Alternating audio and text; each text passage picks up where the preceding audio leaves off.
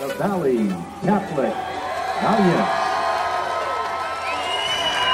Valley Catholic ends today's match with a record of 15 wins and 3 losses.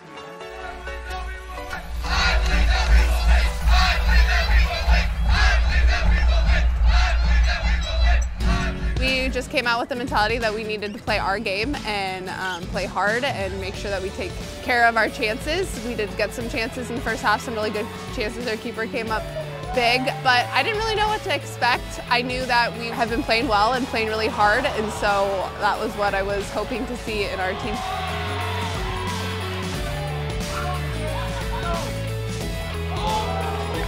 It was really a nitty gritty game of who was going to play harder, and whoever played harder would come out on top.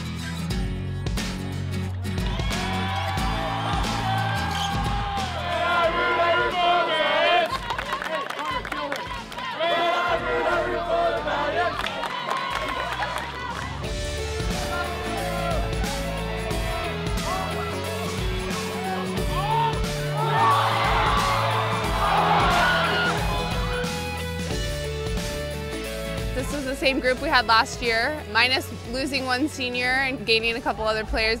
Told him at the end of last year's loss, I said, this is really rare, but you guys, this group here has another shot. So let's take advantage of it. And that's kind of been our whole mentality all season is we've got to go get back there and then we got to come out on the other side of it.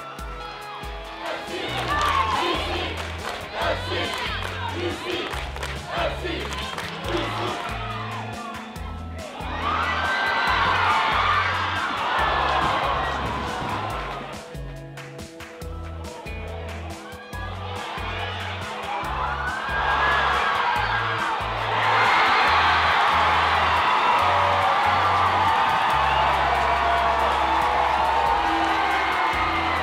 definitely so excited. The goal was kind of weird and I didn't know if it was counted in or not. But once everyone started cheering and I was giving my teammates hugs, it fi finally felt real and I was so happy.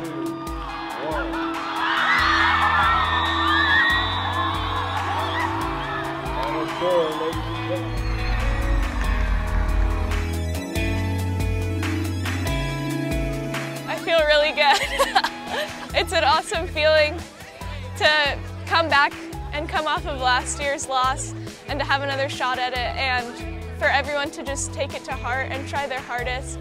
It really means a lot to me that we are all able to do this for each other. Overall, I'm just so proud of this team, and I think this season has been really hard for us, and we've battled through it, and they're just a family to me, and I'm so thankful and proud of them.